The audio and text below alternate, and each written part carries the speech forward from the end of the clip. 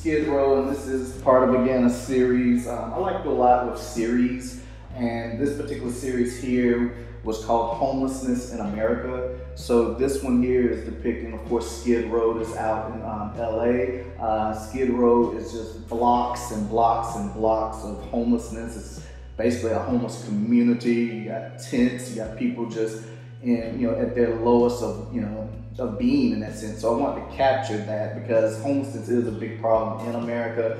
And um, I think it's just overlooked so often. Um, as a society. So, I mean, we need to do better. I mean, it, it makes no sense to have this many people uh, living this particular way. And um, I just wanted to kind of, again, capture that, give the real life sense. So these images are actual images from different individuals from Skid Row that was kind of put together to create that, um, you know, that sense of space. Is this an actual physical street or block in Skid Row? Not necessarily, but I wanted to give the illusion or the feeling that that's, you know, exactly what it was.